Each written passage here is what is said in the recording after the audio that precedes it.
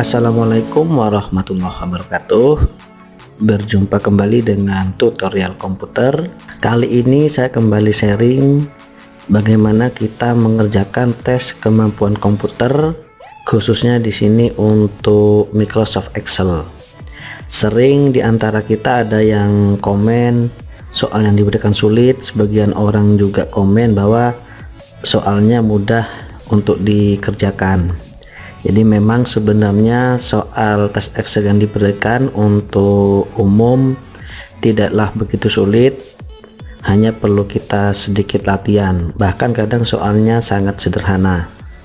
Contohnya di sini kita lihat uh, di sini ada contoh soal Excel kalau kita lihat sepintas memang mungkin sangat sederhana. Cuma di sini uh, banyak juga yang salah atau tidak lulus untuk mengerjakannya. Kalau kita lihat di sini uh, soal ini sederhana. Yang pertama kita membuat tabel, kemudian kita lihat perintah di sini kita diminta untuk membuat tabel persis tabel contoh di sini, kemudian melengkapi satu kolom yang kosong di sini yang perlu diperhatikan teman-teman kadang-kadang teman-teman di sini membuat angka dengan angka 0 di depan. Ada yang belum bisa termasuk di kode di sini. Jadi di sini ada uh, angka 0 di depan.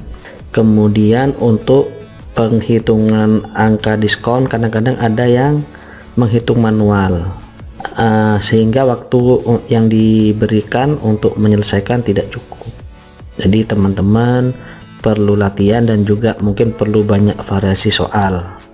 Nah kita lihat di sini ada ketentuan font kalibri ukuran font header tabel 16 jadi di sini tingginya 16 kemudian ukuran font isi tabel 14 jadi tinggi tabel yang untuk isi data ini 14 teman-teman harus mengisi sesuai ketentuan yang diberikan karena memang hal-hal ini nanti yang akan dinilai. Teman-teman bisa apa enggak uh, memenuhi ketentuan yang diberikan. Waktu 15 menit. Nah ini yang paling penting. Jadi teman-teman harus mengerjakan selesai maksimal 15 menit. Kemudian hasil tes simpan di dokumen dengan nama file nama anda Baiklah, bagaimana kita membuat seperti ini dengan benar dan sesuai waktu yang diberikan? Kita coba kerjakan di sini.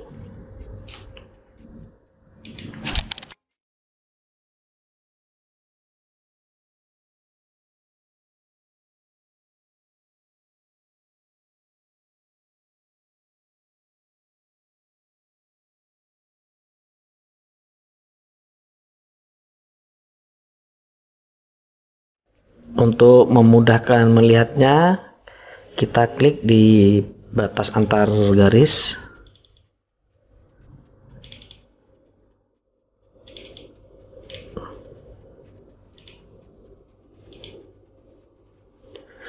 Di sini ketuanya kita lihat.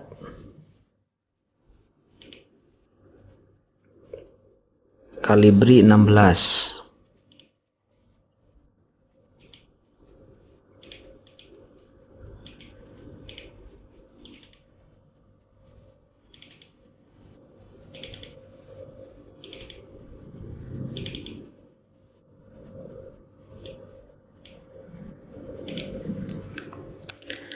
Nah, di sini teman-teman jika menulis angka 0 di depan angka, jika kita tulis biasa 01, maka yang muncul tetap angka 1. Di sini ada dua cara. Yang pertama, kita setting di sini kolom sebagai teks. Kemudian kita ketikkan 01. Maka otomatis angka 0 di depan tidak akan hilang atau selalu muncul. Atau cara kedua kita undo terlebih dahulu. Cara kedua untuk menulisnya kita ketik tanda petik kemudian kita ketik 01 maka hasilnya sama saja. Tapi lebih mudahnya menggunakan teks kemudian selanjutnya kita tarik sampai angka 10 selanjutnya kita ketik nama barang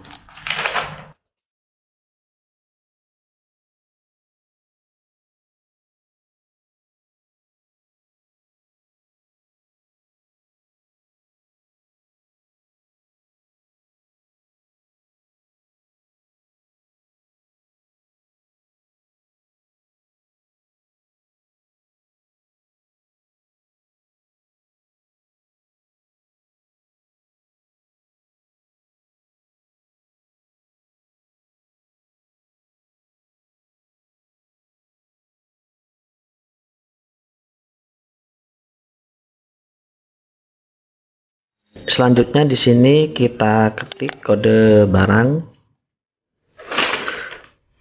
Karena sesuai contoh soal ini ada beberapa yang huruf nol di depan maka sebaiknya langsung kita format menjadi teks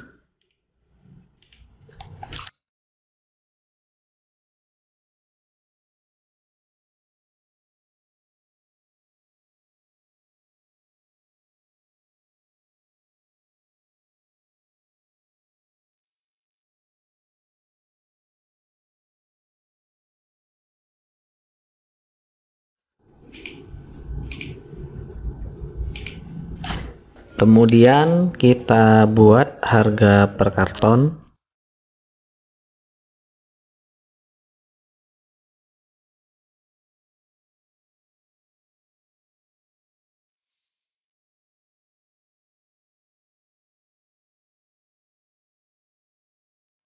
Kita lihat di sini untuk format harga menggunakan accounting. Di, di sini antara digit ribuan ada batas kemudian di akhir ada 02 di sini kita setting untuk otomatisnya bisa kita pilih tanda format di sini separator maka otomatis akan menyesuaikan. Atau uh, kita pilih di sini accounting. Jadi sama saja karena kita jika pilih format ini format akan menjadi accounting. Kemudian untuk lambang mata uang.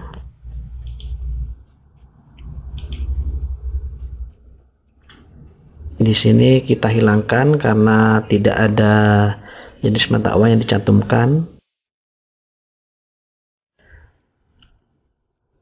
Selanjutnya kita ketik diskon. Untuk diskon di sini langsung menggunakan persentase. Jadi di sini langsung kita format langsung kita klik persen di sini atau kita pilih di sini persentik.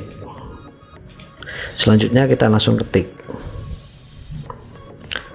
Jika muncul angka desimal seperti ini di sini kita hilangkan.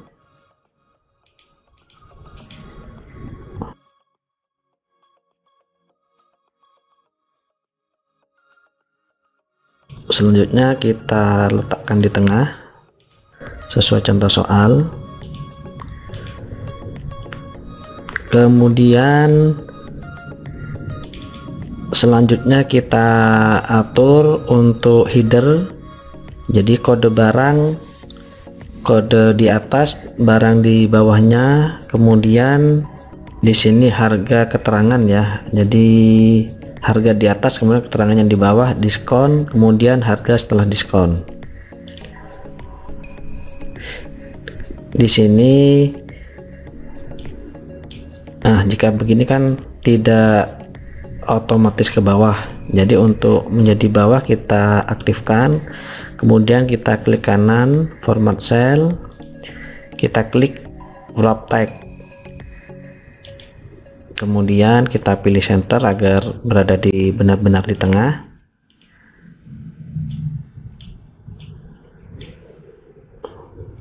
untuk harga juga.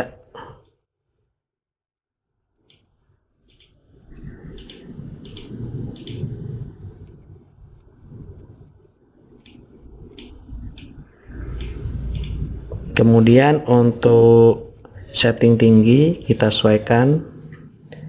Tinggi header 42 tinggi kolom tabel 22 kita klik kanan kita pilih raw height ini di sini sudah 42 kemudian selanjutnya untuk tinggi tabel yang berisi data di sini 15 kita ubah menjadi 22 kemudian setting selanjutnya font isi tabel 14 di sini kita ubah menjadi 14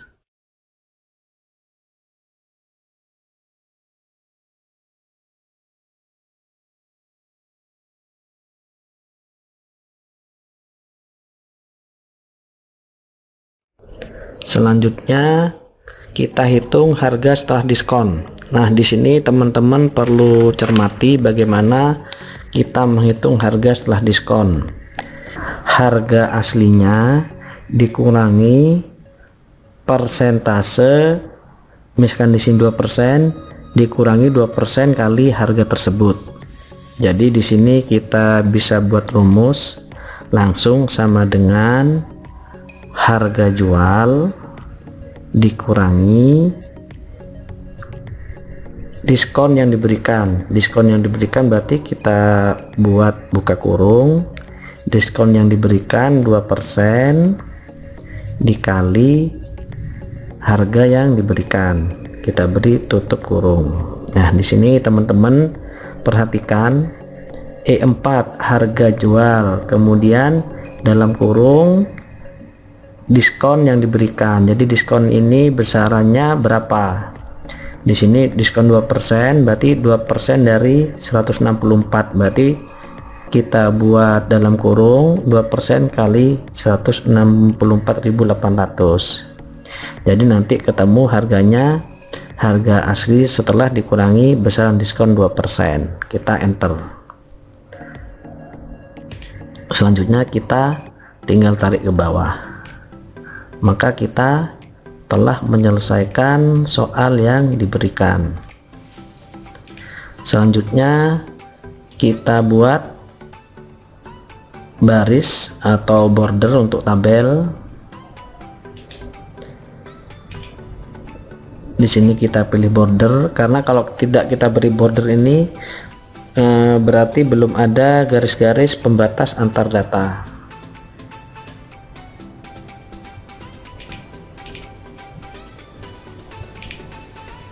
kemudian selanjutnya untuk contoh di sini untuk garis tepinya tebal semua.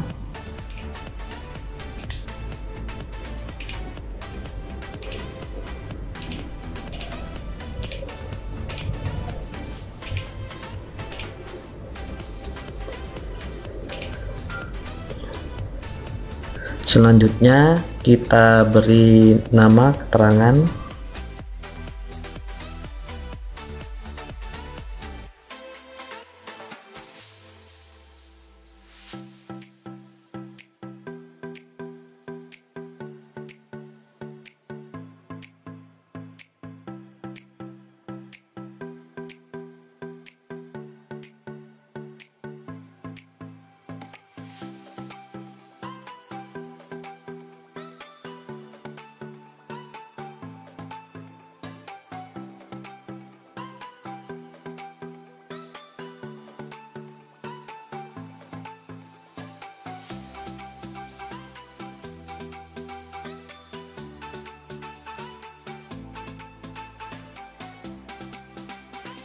kemudian kita lihat hasilnya di print preview.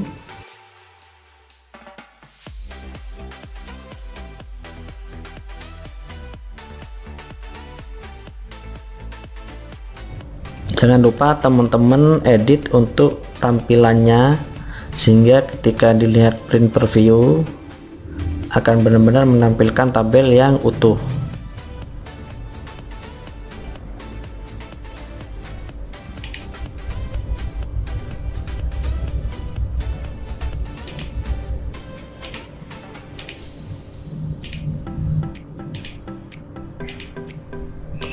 kita cek lagi.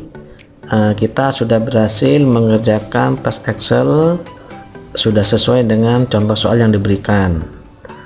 Uh, agar terbiasa nantinya menghadapi soal tes komputer jangan lupa untuk mencoba tes-tes lainnya. Pada umumnya hampir sama cuma ada sedikit mungkin uh, trik-trik uh, atau ketentuan yang perlu diperhatikan.